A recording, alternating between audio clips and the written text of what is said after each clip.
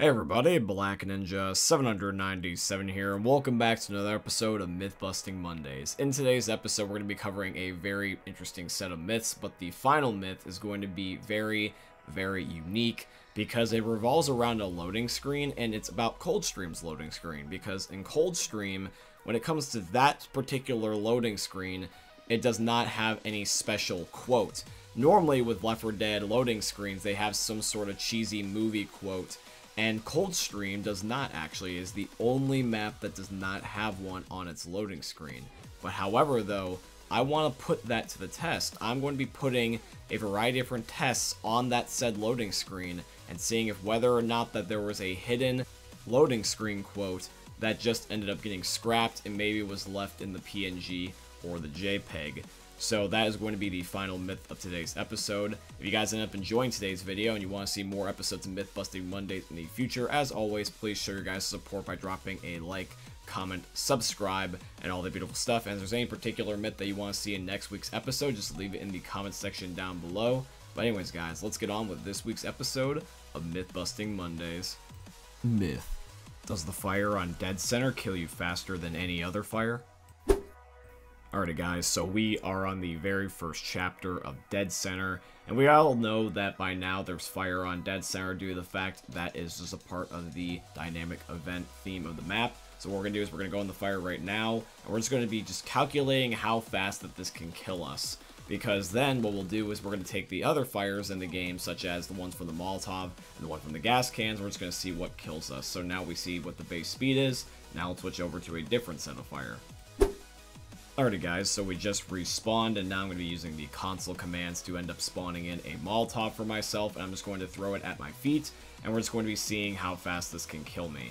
And I can just tell you guys this already without even questioning it, there's already super, super big difference between the fire from the Molotov and the fire from the Dead Center building. In fact, actually, if you take a look at this, the Molotov actually will run out before it can kill me. I'm doing this on easy mode, by the way, for both of these game modes.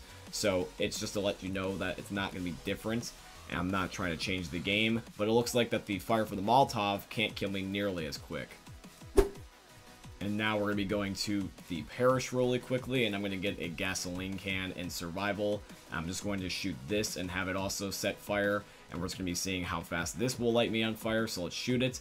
And we're going to see, and it looks like that based off of what I'm seeing on the screen with my eyes, instead of doing nanoseconds with like a clock or something. I just tell you this by looking at it, that the fire of the Molotov and the gas can are almost identical, and it actually, once again, just like the Molotov, was not able to kill me. So yes, this myth is confirmed. The fire on Dead Center will kill you much faster than any other fire will in the whole entire game.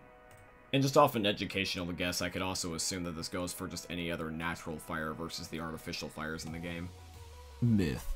Can you destroy a tank rock with a melee weapon?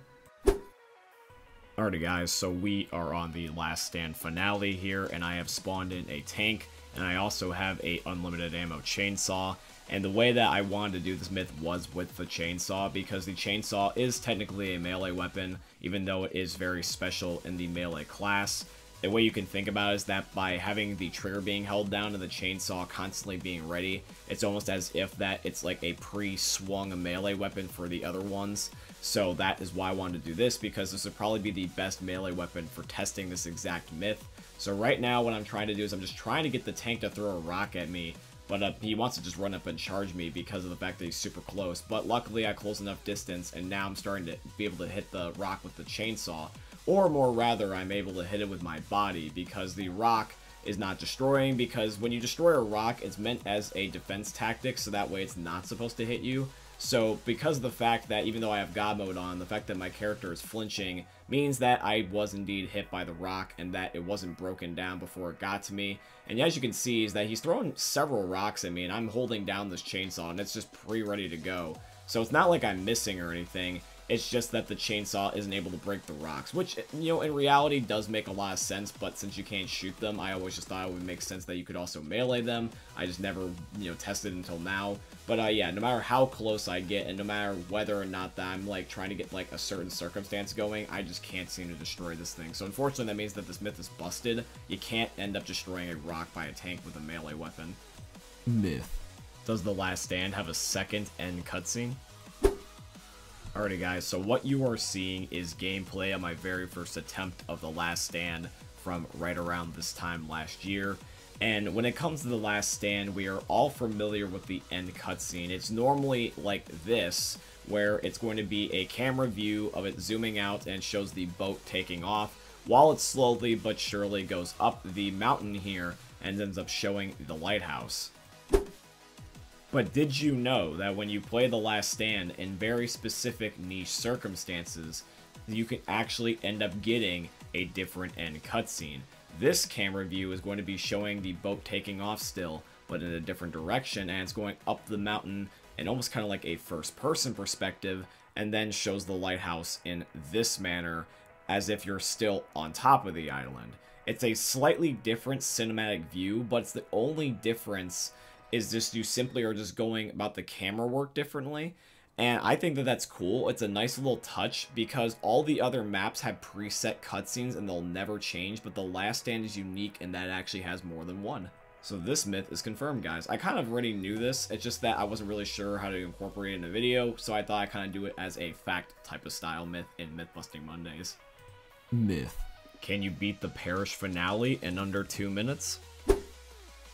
Alrighty guys, so in a previous episode of Myth Busting Mondays, I decided to test a myth about whether or not that you could complete the Last Stand campaign in under 10 minutes because there is a achievement for completing it actually under 13 minutes. There is a very similar achievement for the Parish finale. It's called Bridge Over Troubled Slaughtered, and basically it's that if you can complete the Parish finale in under 3 minutes, you end up getting that exact achievement. And so I wanted to see if, similar to the Last Stand myth, if you can end up beating this faster. So what I decided to do is I loaded up into the Parish Finale, and as soon as the bridge dropped and I had the ability to run, I started a timer for two minutes.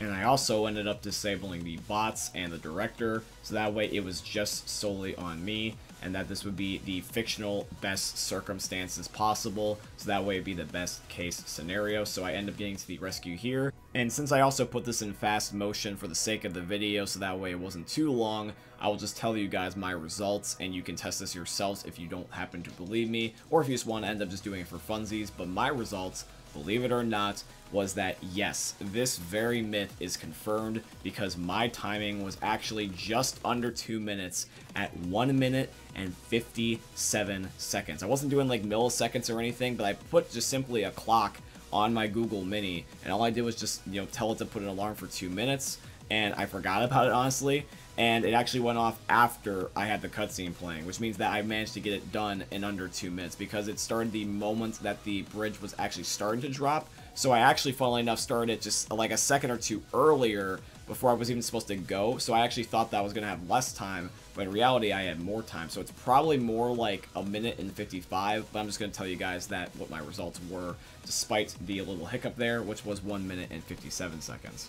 Alrighty guys, so now we are down to our final myth, the epic badass myth of today's episode, and we're going to be seeing if we can figure out if there's a secret hidden quote for the Coldstream loading screen, because Coldstream is one of my personal favorite maps, and I just find it very interesting how it is still to this day the only one that does not have a cheesy uh, little quote on its loading screen. So what I'm going to do is I'm actually going to go into Photoshop and I'm going to be taking a look at the loading screen and putting some editing tools such as brightness and then also the zoom tool to see if we can find anything. Now keep in mind is that I am not using a Google JPEG or PNG of just looking it up because those could be modified and might end up removing possible uh, ways of seeing anything in the loading screen itself. So what I'm going to do is that I just simply recorded my screen with my Streamlabs and then I just hit the print screen button and then I put that very image inside of Photoshop.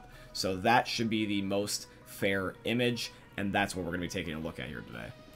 Myth. Does the Coldstream loading screen have a secret hidden quote? Alrighty guys, so we are in my Photoshop software, and I'm going to be pasting the PNG of Coldstream's loading screen in here. Keep in mind that once again, this is a print screen of just what I had in my recording, which means that this isn't modified in Google Images by somebody else. And so what I want to do to test this is I'm going to first turn up the brightness by end up using a brightness tool. So that way we can end up getting anything that might be uh, in the dark and kind of actually blurred away. And then in addition to that, I'm going to be using a zoom tool, so that way I can end up making the image a lot more uh, easy to see. And that way it's like down to the pixels. So that way we can be able to see every little nook and cranny of this thing and see if there's any little hidden item in it because the text on the screen can be sometimes very hard to read because it's naturally meant to just be there for filler rather than actual reading purposes. And so if we zoom this in and clear it up a little bit, it should therefore be legible and I'm just looking at every little pixel. I'm not going to let anything escape by me. I'm going to be taking a look at everything. Because remember, we're looking for something that's supposed to be hidden, so it's not going to be very easy. And yes, this does look blurry, and yes, this does look pixelated. And that is probably the point, because if there was any hidden quote for whatever reason, and they either forgot it, or they just, for whatever reason, didn't want to have one, and it was in here, it would probably want to be hidden because otherwise then it would technically have a quote. But I can just tell you this so far is that even if it was in here, there's some stuff that in here, like, I would not even be legitimately able to tell if it's a quote because to me, even though I have pretty good eyesight, it does just happen to look like pixels. I see obviously the blatant things such as the uh, the loading screen half, that it's saying Coldstream, it's saying me and the bot's names. I even see the little um, nano things such as Valve's name at the bottom, but anything hidden in this so far, I can't find it. And I looked everywhere, and I'm pretty sure there's some other tools that you could theoretically use, but I'm not necessarily, believe it or not, the best Photoshop person in the world. I'd say I'm pretty good. I'm not terrible. I'm not great either. I'm actually average and I don't see anything. With the tools that I used, which was mostly just the brightness and the zoom feature, because I don't know what else you could really use without modifying the image from its original base form and then making it look like it's fake. Uh, but yeah, I just can't find anything. So sadly, that does mean that this myth is busted and that Coldstream still does not have a unique loading screen quote. But however though, the map is more unique still because the fact that it doesn't have one. So that is a. And I still like Coldstream regardless, but it would be kind of cool if it did have its own cheesy little quote, because that's just a little attention to detail that I like. By the way, guys, just out of curiosity, in the comment section down below, if you were to make a quote for Coldstream's loading screen yourself, what would it be? Because I just want to know what some of the people in the community might think, so that way we can have kind of one in spirit form. So yeah, let me know what you think, and uh, yeah, so yeah, guys, that's going to be another episode of Myth-Busting Mondays. I do hope you guys enjoyed this week's episode, and I hope that this makes your Mondays just a little bit better.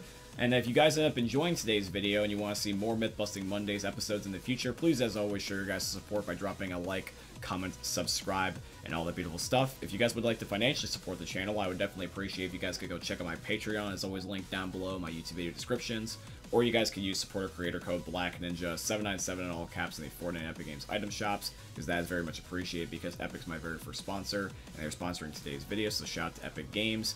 By the way, guys, before we do wrap today's video up officially, I just wanted to mention one last thing, and it's a big request for you guys. Now, this is going to be something that's revolving around my Twitch channel, so let me explain.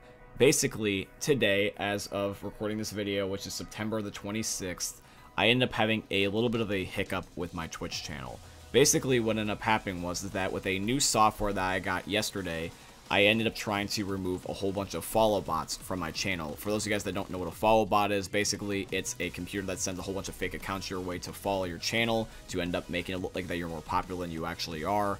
And unfortunately what this does is that this causes Twitch to get suspicious of you, even if it wasn't your fault, and end up making your account end up getting in trouble. So I didn't want to do that. So what I decided to do is end up using this software that was recommended to me by one of you guys to end up removing them. I ended up doing this yesterday and it worked. But however, though, when I did this today, it unfortunately removed actually some of my real followers alongside the bots. So now I went from 258 followers on Twitch to 172 followers on Twitch.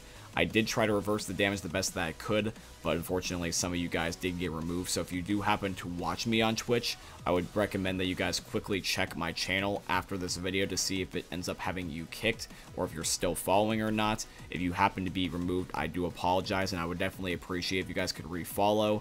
And if you guys do not happen to follow me on Twitch already, I would definitely really appreciate it if you guys could go check out my Twitch channel and follow it because I post a lot of content on there. You guys will get a definitely a big kick out of it.